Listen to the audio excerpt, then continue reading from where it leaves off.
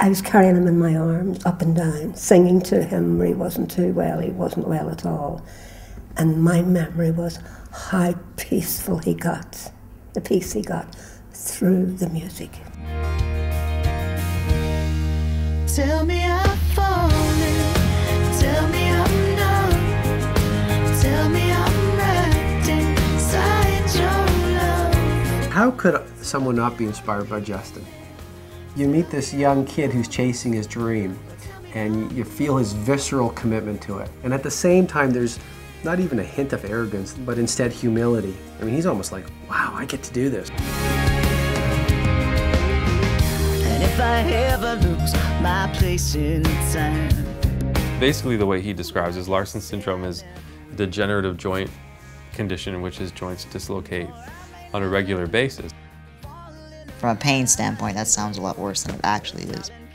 So when you look at Justin and his arms and legs, you know, they look a certain way mostly because they've been fused to prevent joints from um, continually dislocating.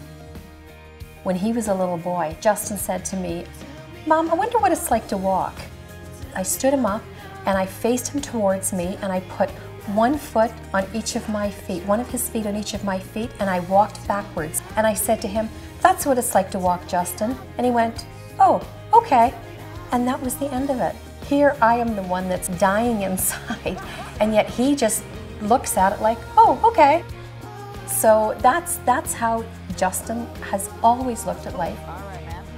Why shouldn't we take advantage of, the wonderful things that life has to offer? And why are we dwelling on the things that, that hold us down? Tell me I've fallen, tell me I'm done, tell me I'm wrapped inside your love. Tell me I'm bleeding. I've gotten to work with great musicians and artists, and he's a great musician and artist, so he automatically falls into that category.